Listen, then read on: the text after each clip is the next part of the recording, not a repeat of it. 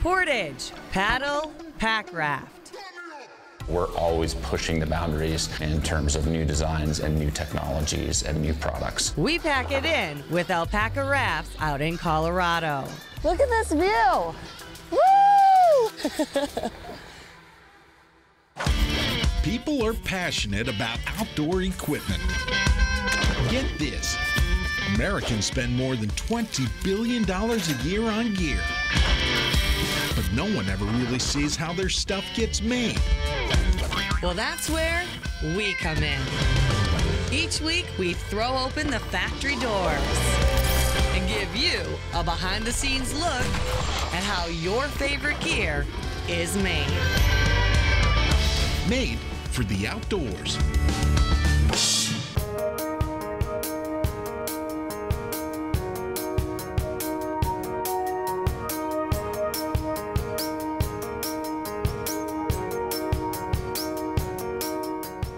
Lakes and rivers offer endless opportunity for adventure. And one of the most efficient ways to explore is pack rafting.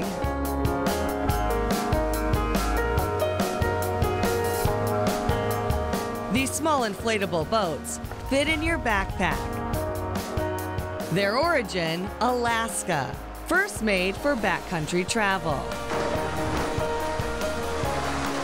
This is an Alpacka raft. It's lightweight, portable, and built for all waterways. Let's see how it's made for the outdoors.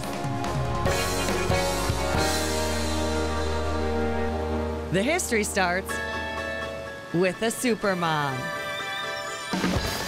Meet Sheri Tingey. It's going to be a pretty boat. She built Alpacka's first pack raft for her son Thor in their garage. I had done two large traverses in Alaska, the second one being a 600 mile traverse of the Brooks Range.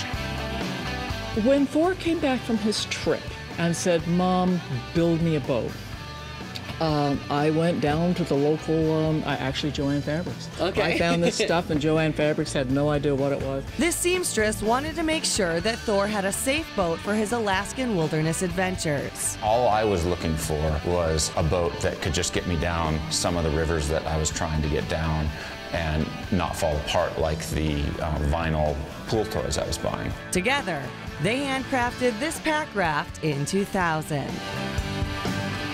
This was cutting edge technology. I, hey, it holds up to enough to get down the river to the next bend. yeah. Yeah. Yeah, we took this boat everywhere. So it's been on the Alaska Peninsula, it's been in the Arctic, it's been, oh man, I don't even want to know all the places this boat's been. Neither knew at the time that some random fabric in Aquaseal would be the first prototype for a pack rafting business. It was so, one of those things, the right time and the right place in the universe, and it just happens. All, all things fit. It's pretty crazy. So how many hours went into this first boat? Hours? How about days? Days, weeks, months? One boat's success led to many. Alpacka Raft celebrates 18 years of business and is a game changer in the industry. In 2007, the Tingeys moved the company from Alaska to Colorado. We're one of only two manufacturers that manufactures in the United States. Their current facility is in Mancos, a cute small town just outside of Durango. So every single one of our boats is built right here in Mancos, and they're all built to order, so that we build them for specific customers. Alpacka Rafts employs around 20 employees. Thor runs the business with his wife Sarah. Seeing it grow from them just sort of putting boats together in the garage, you know, and Sheri's sort of mad scientist level of creativity. Sheri still works in design. You created the first boat, and you are still doing the prototypes today. I am. I am. And um, it's just so much fun. I really feel like most of that credit goes back to Sheri. And her whole life is dedicated towards design and innovation. So we could cut this down. The mother son duo work together to constantly improve and expand their Alpacka, whitewater, cargo, and ultralight lines. If we come up with a new idea, we can have that idea and prototype within a matter of an, a few hours to a few days. Putting it together to go up for that. We build bomb-proof boats. We want these boats to go through anything. Prototype gets rigorously tested. Because we spend time in them and we boat in them, we're able to think up new ideas and ways we can make them better. The positivity and passion create a fun work environment. And their four-legged friends help too. Alpacka, I think, has always been dog friendly. Anybody that walks through the door is going to be greeted by at least three, if not five dogs. And on any given day, there's five to 10 roaming around the shop. When we come back, we'll introduce you to Willis, Abby, and Sprocket, plus build our boat. You're watching Made for the Outdoors.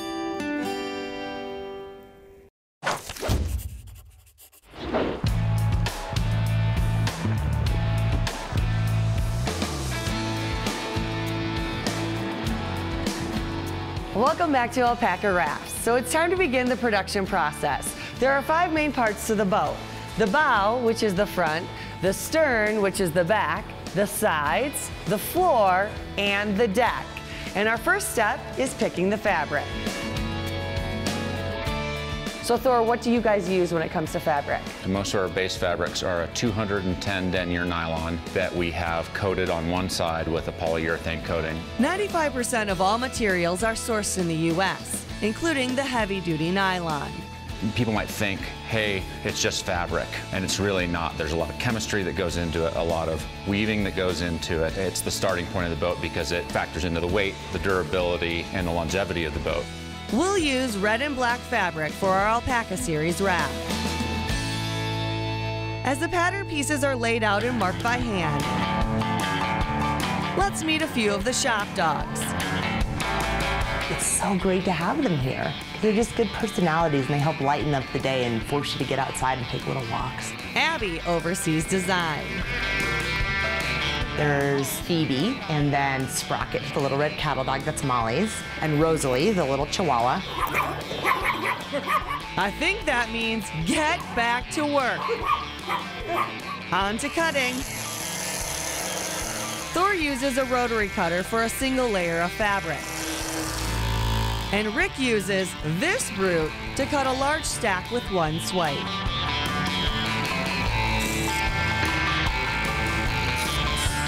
And after all the pieces are cut, they are stored here. So now it is time to shop because we need one of each of these for our raft.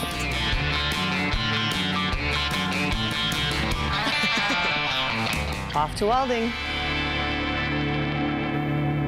Hey Dustin, special delivery. Thanks, let's get to welding. So this is an RF welding machine. Uh, it's a welding machine that works off of radio frequency welds, kind of like a uh, heat press, but with the radio frequency. Dustin thermally bonds small parts to the fabric. There are four bow grab loops and two in the stern. I'm gonna double check my temp, and then it's time to weld. That looks welded and good. This is where the raft gets its alpaca, which was designed by Sheri's sister. I'm gonna take this die and put it directly on top of that logo. And then it is go time. Peel off the logo. Now to check the work. Same logo, Nice imprint. 18 years later. No way of peeling that off. One department over, Jason builds small parts such as the D-rings, grab loops, and strap plates.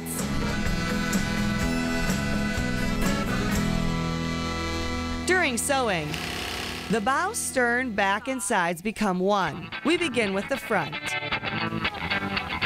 The sewing machines use specialized thread and needles for nylon.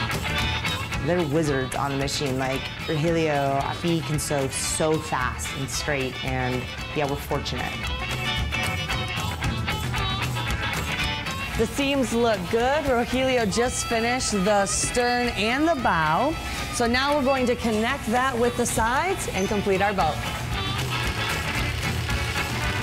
Seams look good. Rogelio's 50 years of sewing experience. Bert has 52 years of sewing experience. And then there's me, the rook. I'm gonna give it a try. We're gonna see how this goes. Do you trust me? Oh, yeah. You're going to be good. Oh, Woo, First try.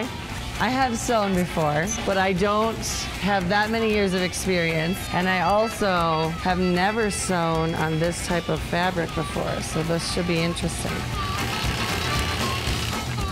Voila! Come on over, Thor. I'll let you be the judge. Look at that. Went inside a little bit. Nobody will notice. When we come back, we finish our pack raft A boat is born. and head out on a Colorado adventure.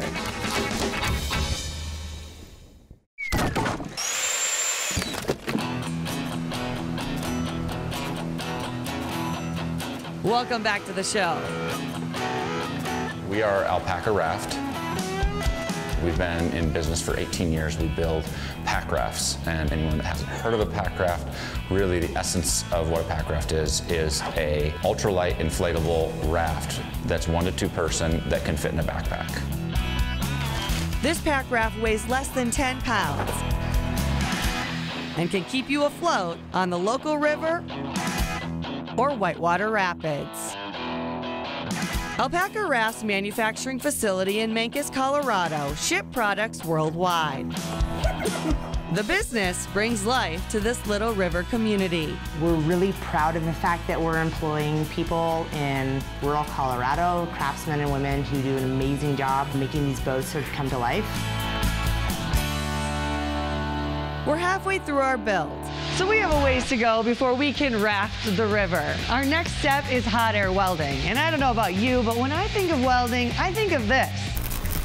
However, no sparks are needed to seal these seams. Each boat is made up of a series of panels that are seamed together. Every seam is sewn first, and then there are two hot air welding steps. So this is Juliet, and she's going to show us that entire process. And so Juliet, what do you have to do? In this one, um, they pass me the bolts already sewing, and what I do, the first step is put a beige tape. So we hot air weld one layer of tape over it that provides an initial seal, and that should seal the whole boat up. And then we provide a second layer of tape over the top of that. What we end up with is a seam that is stronger than the rest of the fabric on the boat. We don't want a waterlogged boat or a flat one. So there's no room for error with the final main seam. Raft complete. Now time to put the floor in and inflate it. Come on, Peeps. Hey, Bruce. Hey, how's Here it going? is our finished wrap. Sweet. Welcome to the glue room. Let's get this guy blown up. Looking good. Woo! No holes. We'll just check the main seam real quick. Okay. We are filling for any air leaks because if we're gonna have a problem, it's gonna be right here. Looks pretty golden. Your side? No air leaks over here. Sealed tight. A second test is performed overnight. When we floor the boats, we inflate them all to a fairly high pressure and we leave them for 12 to 24 hours. So that way we know that they hold air. So we've got a new little quality control test. Testing durability. All good. All good over here. I'm so much trouble. Our inner tube finally becomes a raft when the floor is installed. Here are our fancy templates for this. Bruce walks me through the gluing process.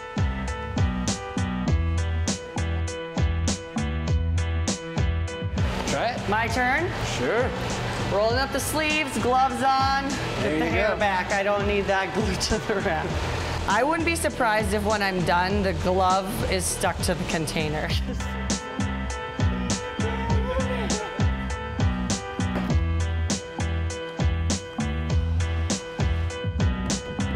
Flooring done and no glue room mishaps. On our way to decking, we meet Willis. What you talking about, Willis? Willis is over here melting hearts. That's all he does. Some rafts get a spray deck, which Aaron adds. So we start with a double-sided sticky tape that we put on the deck.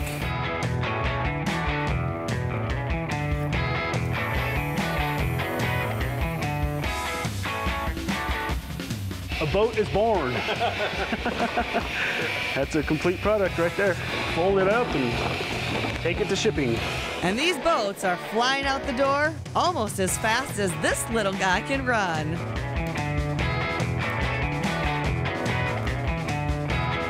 We absolutely ship worldwide, probably between 50 and 100 countries. I ship Germany, Japan, everywhere. Places I didn't even know existed, really.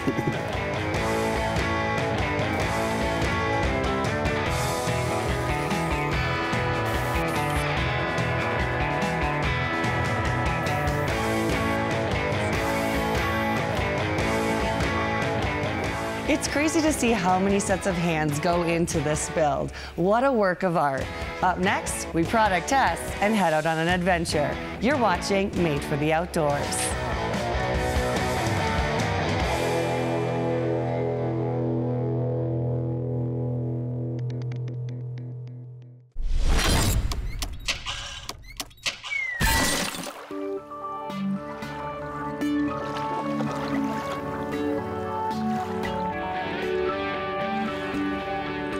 Today we're in Colorado, which is home to Alpacka Rafts, and we're gonna start on this flat water and move our way up to class three rapids.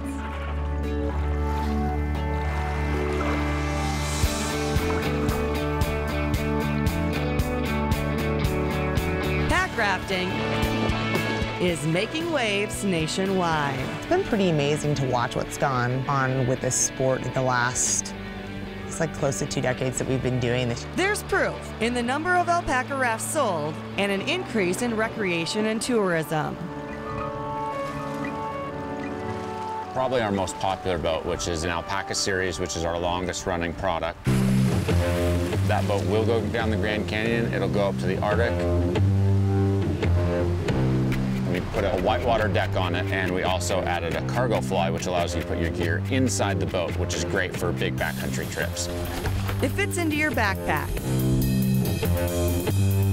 And even a rookie can blow it up. The best part, you don't even need a boat landing. You can just set it in and go. Right now, we're at McPhee Reservoir, which is about 10 miles away from Alpacka headquarters. We're gonna paddle out and check out some of these sandstone formations.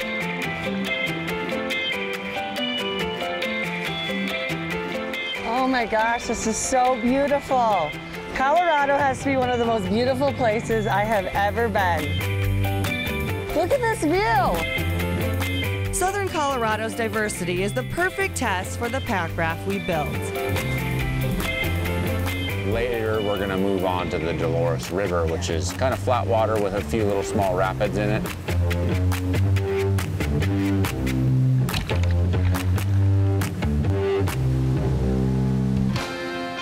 And then we're gonna move on to the Animas. And the Animas uh, has some class three whitewater, and we're gonna go play around in that.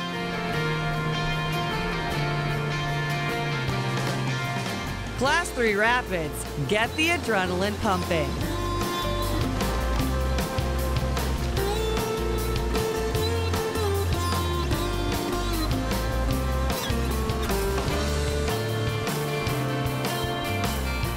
And for every adventure, there's a new memory or a picture, a smile or a happy pup. That's what it's all about. You kind of end up with a new appreciation for not just the out there places, you know, where you have to fly for 12 hours to get there, but, but just your backyard. Places like this that not many people come to this part of this reservoir, and it's really beautiful down here. You know, the world has gotten smaller over the last hundred years. There are very few places on Earth that we haven't explored, but that doesn't mean that we can't go and see some places for the first time. And just being able to go into a place that I don't know what it's going to look like, I don't know what I'm going to find there, and see it for the first time is this really, really cool experience. And so pack rafting for me has opened that up in new ways.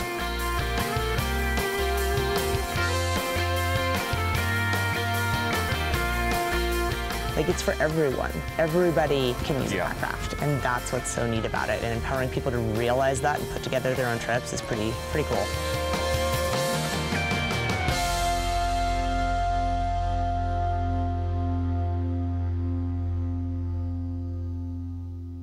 Is it giving me supermodel hair? Came off without a hitch. Uh-oh.